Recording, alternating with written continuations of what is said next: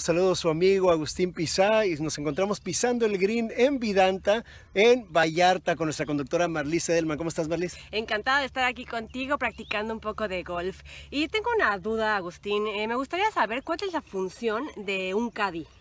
Bueno, la, la, función de un caddy son, son varias. Primero vamos a definir el nombre de dónde viene. Viene de la palabra francesa cadet, que un cadet es el aprendiz antes de subir a, los militares. Él estaba de aprendiz, tenía que este, pues, trabajar ahora sí que en la trinchera y aprender de todo antes de subir en el ranking de lo militar.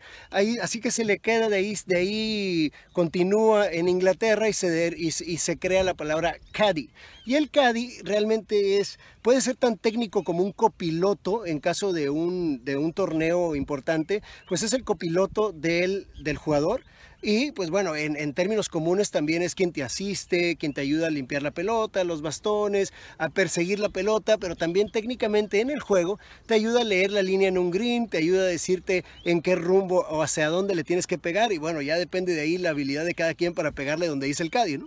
Creo que necesito un caddy entonces. ¿O dos? oh, muchos, vamos a buscar un caddy.